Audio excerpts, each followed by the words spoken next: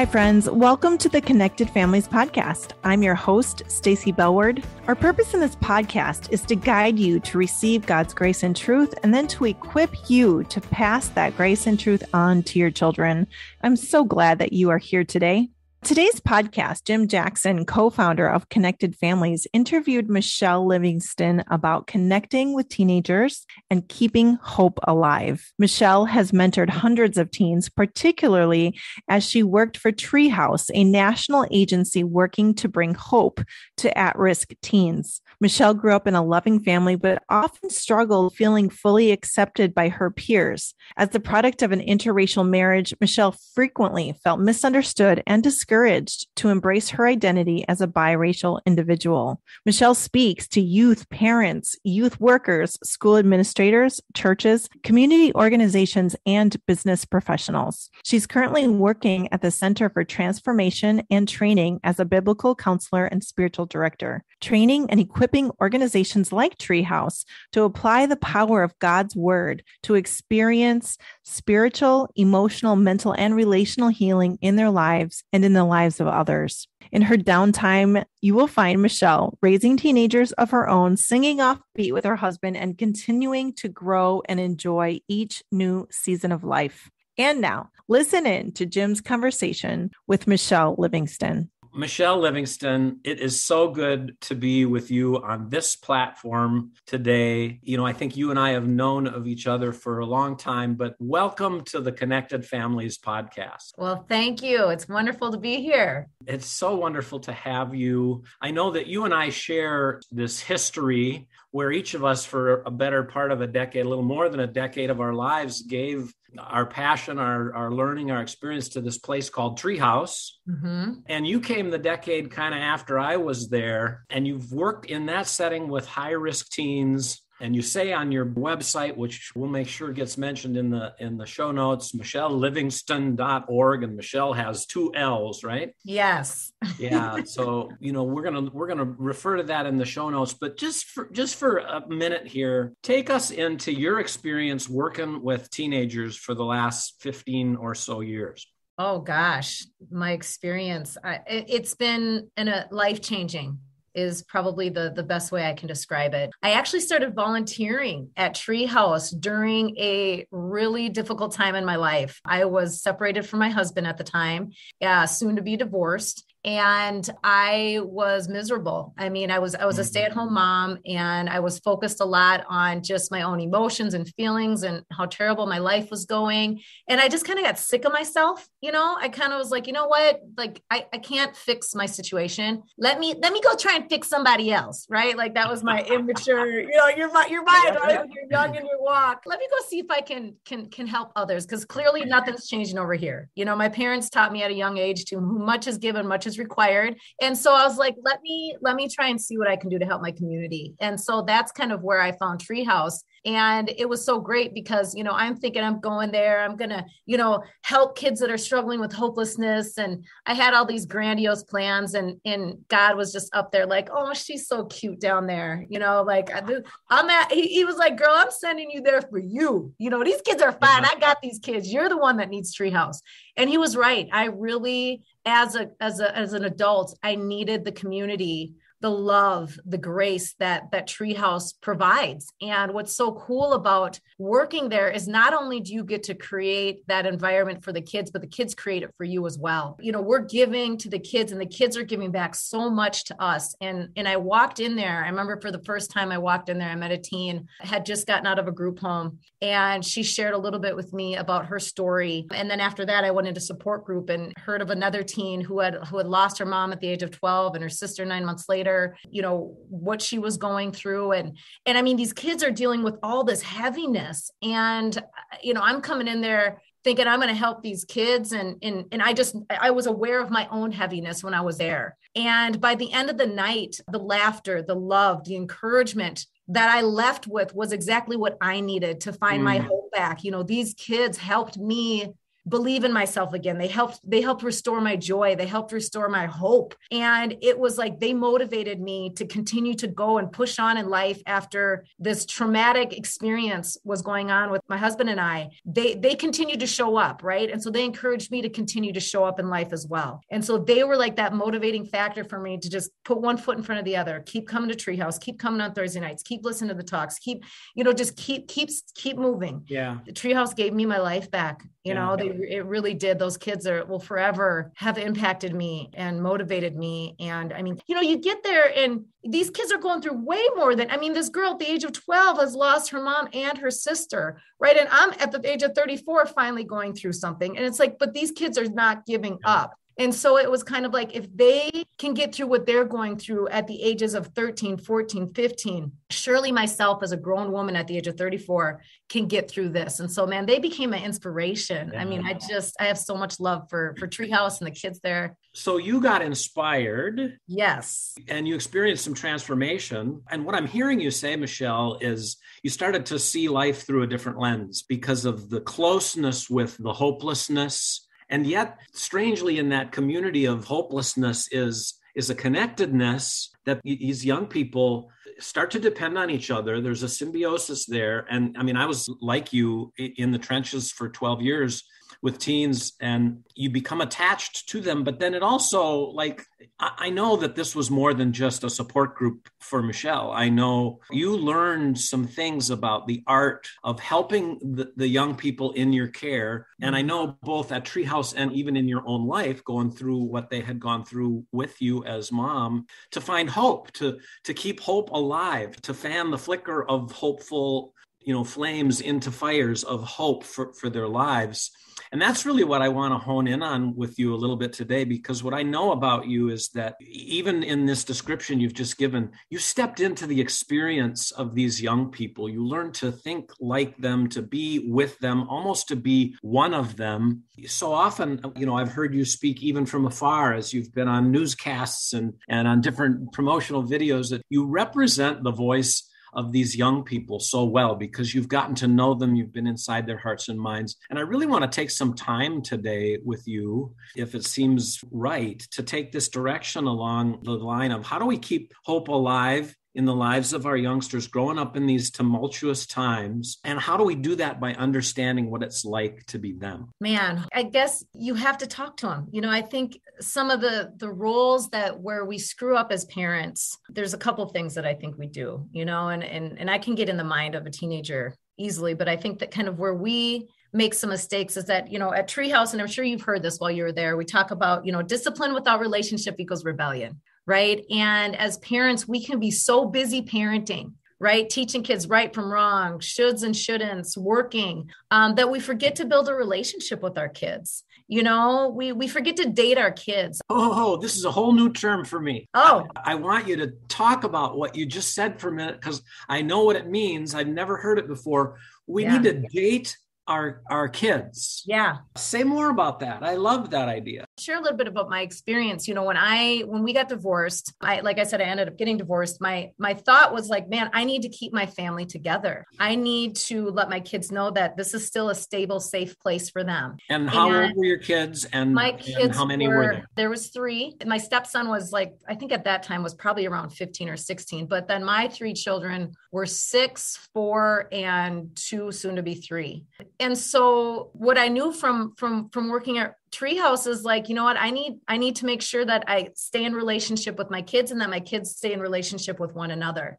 And so to me the, the natural thought was to you know think about dating my kids. You know my sister had talked about she's going on a date night in the past with her kids and i never really took much time to think about that until i was in a situation where i was worried about the relationship that I could potentially have or not have with my kids as a result of the divorce. And so I decided, like, you know what? I'm going to start to date my kids. And so we would, we had date night as a family. And so the Friday nights that I had my kids, we would, I'd let my kids take turns picking what we were going to do as a family, go out and do that. And then uh, once a week, my ex husband and I would switch off taking one of our kids out on a date. And again, finding out what it is that they want to do and just going and experiencing that with them. And that was just some solid time for them to just have one-on-one time with us as parents. And so mm. it's amazing what your kids are like when you get them by themselves, right? When you isolate them, get them out of that birth order, you know, and just really get to focus and hone in on who they are as as a person. Yeah, and yeah. it was just a beautiful experience, you know, and that really helped to build the relational equity that I was going to need as they kind of grew into these, you know, turbulent teenage years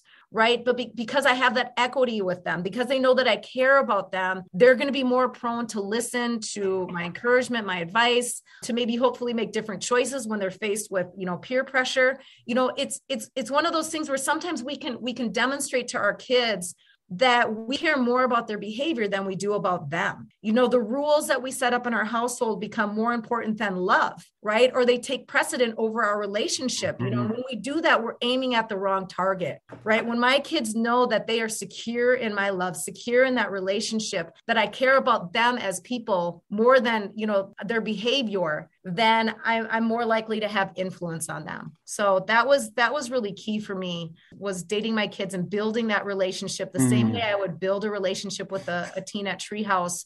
I wanted to make sure that I wasn't yeah. dating my own household.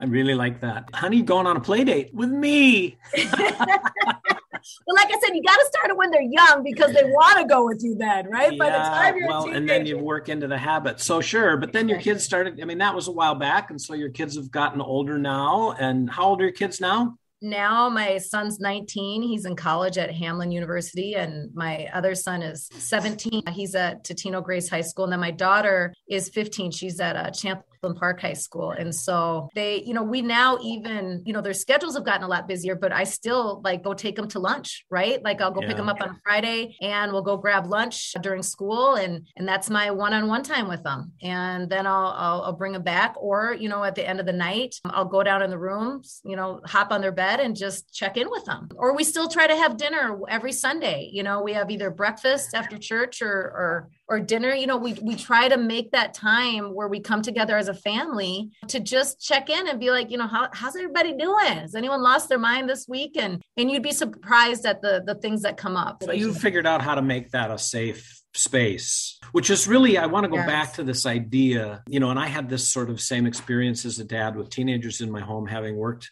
with other people's kids for a long time. Like you learn uh, and hopefully you apply to learning at home. You learn h- how kids think and you learn what they need in order to feel safe yeah. uh, to feel respected to feel cared about to feel heard to feel seen. You know th- th- but this is an art you know as i work with parents i'm sure as you have worked with parents h- helping parents learn to think like their kids think, not for the mm. purpose of getting them to do what they want them to or figuring out how to say the right thing in order to manipulate behavior, but for the purpose of truly understanding and empathizing with the humans in your care. Yeah. Um it is it doesn't come easy. It's hard. Yeah it is. And so you know i'm i'm thinking about uh, you know a 9 or a 10 year old who you know you discover or maybe a 12 year old let's go 12 years old. A 12 year old fifth sixth grade you've discovered this child doing something they ought not do. You've come into the room the computer screen shuts down. There's that guilty look on their face. There's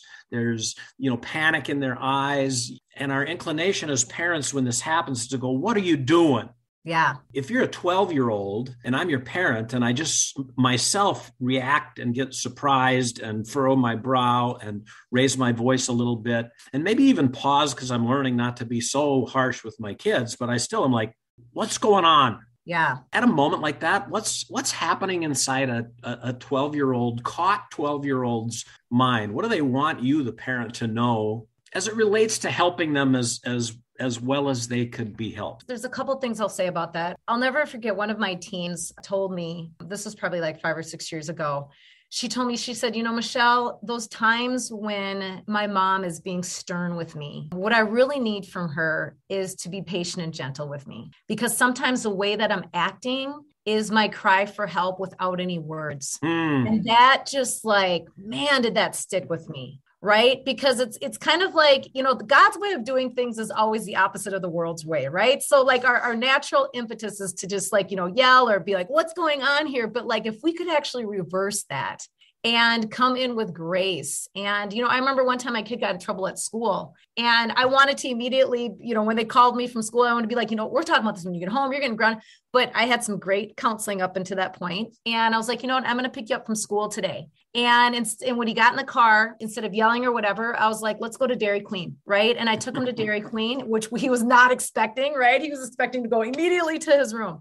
And during that time, I, I was just kind of telling myself, you know what? Keep your poker face on. Right. Because the reality of it is, is that kids, especially when they're getting in trouble, they want to tell us stuff. You know, I've had so many teenagers tell me that I want to tell my parents stuff, but I feel like my parents are going to freak out or they're going to be disgusted or mm-hmm. disappointed or ashamed of me. And so they even said that they would do things like they would like drop hints on conversations that they'd want to have with their parents. And based on how you pick up on those hints, like the reaction that you have will determine if they share more right? And so it, it's so key to kind of keep that poker face kind of like you were saying like notice in your body as a parent like what's going on? Because for me when i'm getting ready to blow i can feel it from the depths of my belly coming up to my chest. And so it's so key to kind of imagine in your mind pushing that pause button right? Mm. just pushing that pause button in your mind to just kind of stop the the connection between your body and your mouth and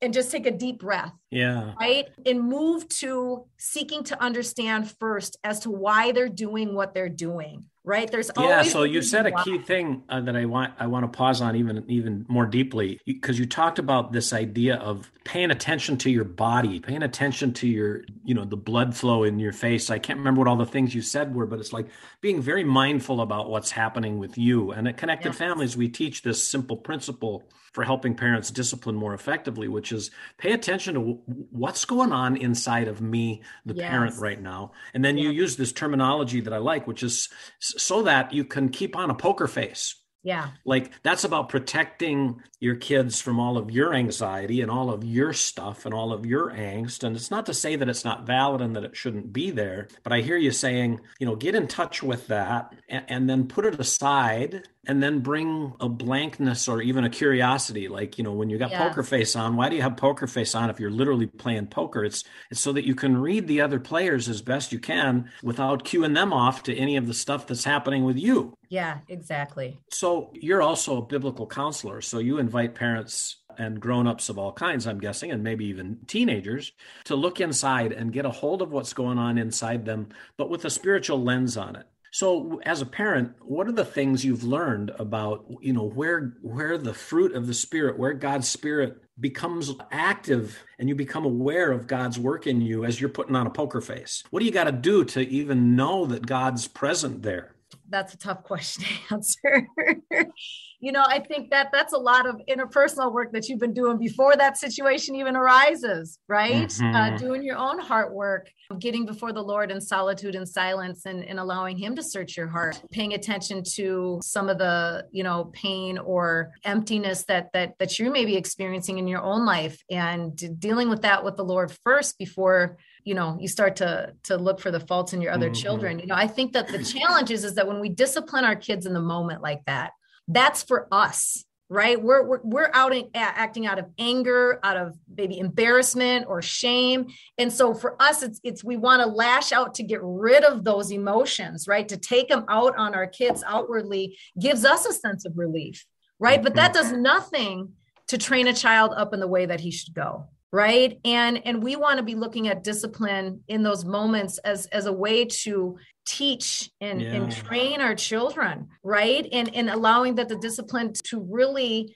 help mold them into who god called them to be not to like let it be a moment where we can get our own angst out because we're having all sorts of feelings or whatever. So yeah i mean we got to as parents be be doing the work you know we want we want our kids to to work on this that and other thing and we got to be patient because transformation takes time right? Even in my own life you know i've been in counseling for 12 years and you know i'll have i'll have a week where i'm like have i learned nothing? You know it's like we have to be patient with the process go, go, right back to the old defaults don't seriously we? i mean it, it, they really call it the slow work of god you know yeah. god is not in a rush and so we really need to be patient with our children and knowing that you know yeah they're they're going to make mistakes and yeah to, and to reduce what i just heard you say to kind of a new thought again so often as parents we work harder to take care of ourselves when we discipline our children than we do to take care of our children Yeah, exactly. I think this is such an important idea. How do we take care of our children when it's time to discipline them, especially when they're in in these angsty years and there's so much going on in the world and it's so hard for them to have a positive view of their personal future, right? We've heard that language before. How do we help our kids with that? And so we're going to take a break here quick and let you all know about some opportunities here at Connected Families. But on the other side of that break, I really want to come back and and hone in on you. You sent me a list, Michelle, of some questions or some statements that you really think teens might make or preteens might make to their parents if they could, if they could have that adult logical voice. And we're going to go through that list and kind of talk through what is it that will help teens be hopeful because now their parents know more about how to care well for them. So we'll see you all on the other side of the break.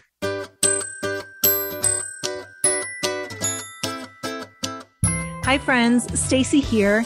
I want to tell you about a free resource that you can get today called Helping Kids with Anger. Anger is an emotion that all of us have, both kids and parents. We've all experienced it. It looks different depending on the personality. Sometimes it's slow and simmering, and sometimes it's surprising and explosive. But no matter how it shows itself in your home, it can be hard to know how to manage.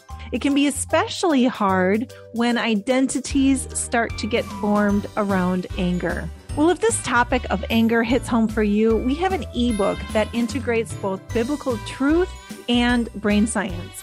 It's designed to help you equip your children to manage their anger and emotions rather than just stop the behavior. You'll also learn how to work on your own anger first so that you can respectfully and constructively help your children work through their own big emotions. Head to our show notes and follow the link to download our Helping Kids with Anger ebook and take steps towards peaceful parenting and connection today. I am delighted to be with Michelle Livingston, who has, in my mind, become somewhat of a legend of youth workers, has developed so much wisdom over time. And you're building a ministry now that shares that wisdom with others, which people can see at michellelivingston.org. And that's Michelle with two L's. There's a lot of different ways to spell Michelle. Regardless, Michelle, I'm just so glad to be with you in this space today. You too. Thank you for having me. We're here today to talk about about hope, keeping hope alive in our young people in a really kind of dark, dismal time. What Ed Stetzer mm. calls, I forget exactly what the language for it is, but you know, every 60 years or so, there's a cataclysmic cultural shift that's just really difficult to go through as as a society. He suggests that we're in one of those now, and I think the implications of that for raising children and teenagers are significant, especially when we want to point our kids to Jesus and keep hope alive.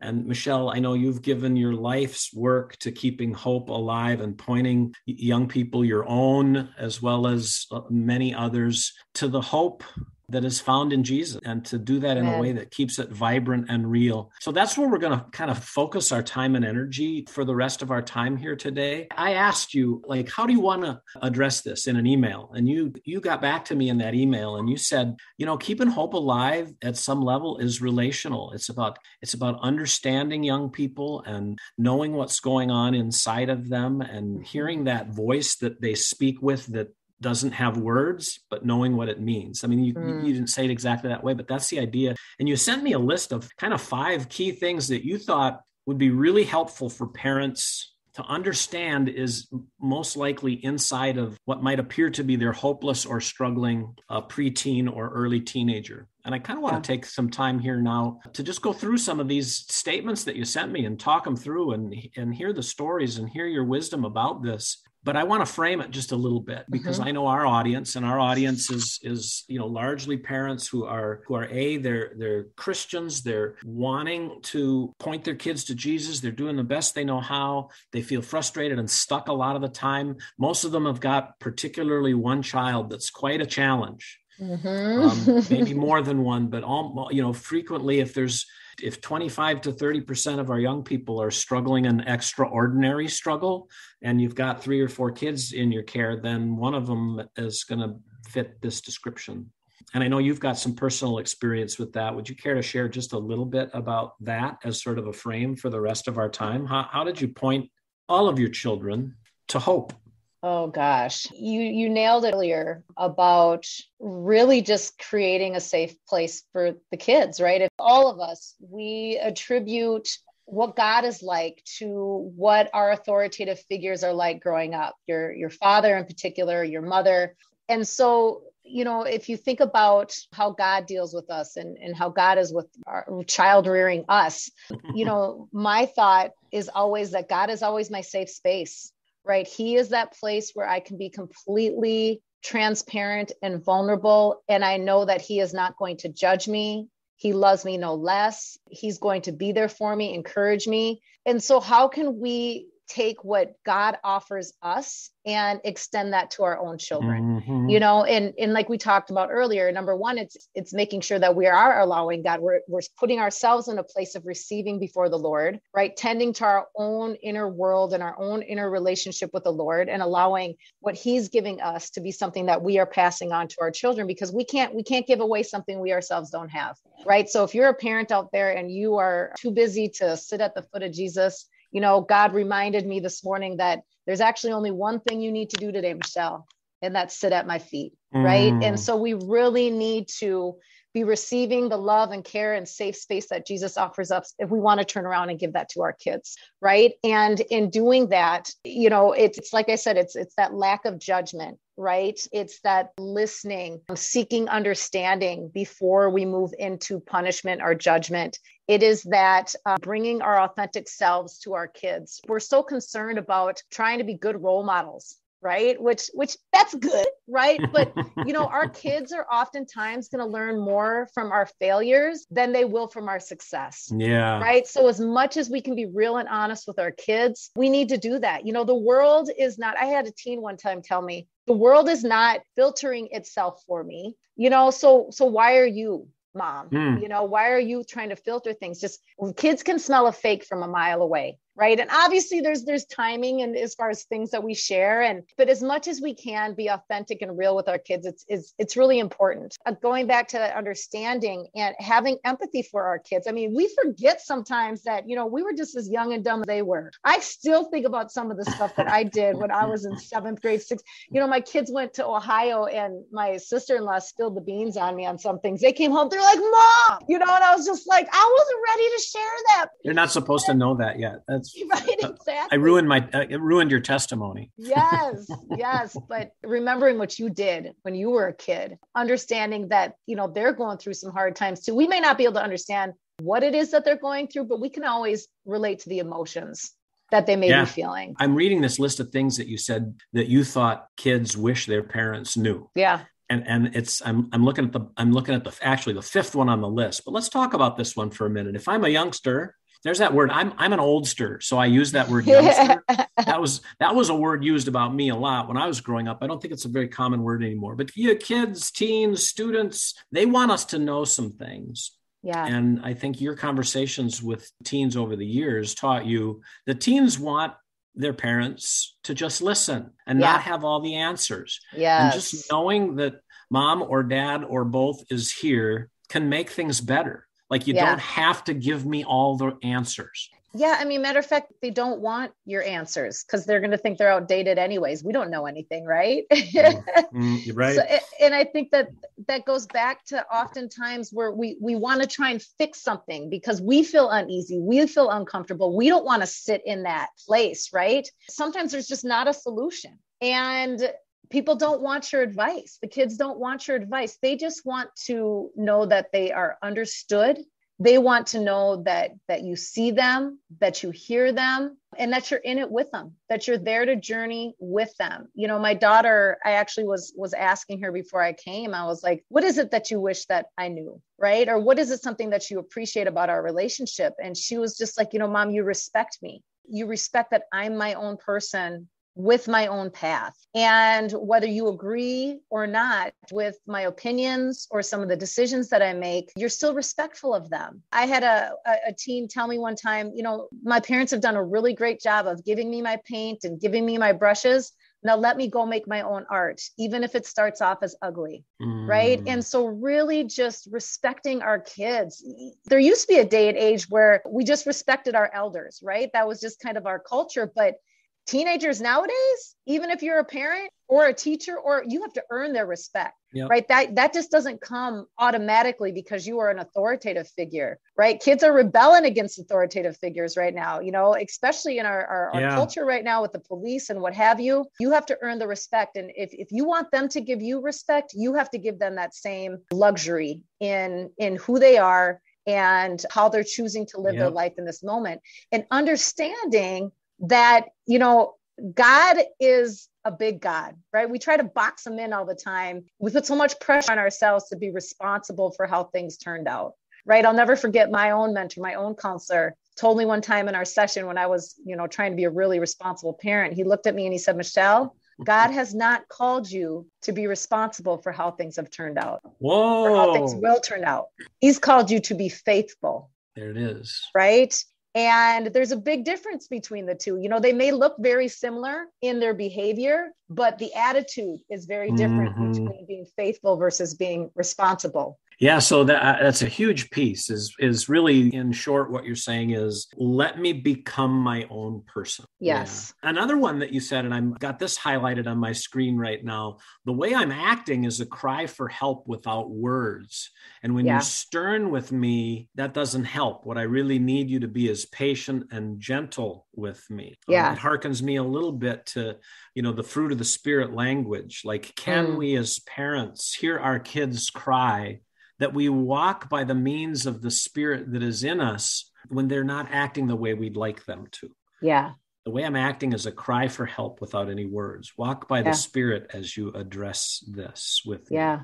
Yeah, amen. You know, what we say at CFTAT is our actions advertise what we be, believe to be true about ourselves, right? Our mm-hmm. actions advertise what we believe to be true about ourselves. And so if you see me over here acting out, right? There is a lie somewhere in my belief system that I believe about my value or my worth. And if we can take the time, if we can restrain from freaking out that we're being terrible parents and that's why our kids are act and think about what what's going on in my child's soul right now that is causing them to behave this way? What is it that they're believing about themselves that we need to renew their mind to the truth about who they are that we need to, to sit down and have a discussion about? One of the things that I constantly am saying to my children when they are not acting right, right, quote unquote, is I tell them this isn't who you are, right? I remind them of their identity, of who they are and whose they are, which is so important, especially when our kids are acting out and trying to realign that thinking. Because if we can affect that thinking, if we can get that mindset in the right spot, then their behaviors are going to follow. Yeah. So there it is again. It's this, it's the safety, it's this respect, it's this empowerment so that so that we can give the kids in our care the space they need to express for themselves what's going on inside of them. I'm going to move on to another one here that I've got highlighted, and you've mentioned this already in a couple of different ways. I learn sometimes more from your failures than from your successes or your good example. So yeah. be real and honest with me and yeah. that's that thing about the filter yeah you know I, I, remember when my when my boys were getting old enough and the whole pornography thing started to hit and you know lynn and i had conversations like I, I, mean i as a youngster was exposed rampantly to pornography and was was sort of led by the older boys in my neighborhood into some experiences that that i carry with me to this day that were very difficult and and hard. And you know how much of that do i tell my children? Mm-hmm. or do i tell them any of it at all? And you know we decided yeah i i, I want to be honest you know not not like here's the stack of magazines that i look through. Why don't you take a look or anything like that? Of course they're long gone. But you know to be able to say to my at the time maybe 10 or 11 year old kids as they're getting some of their first exposures. And nowadays with smartphones in, in kids hands even earlier than that you know it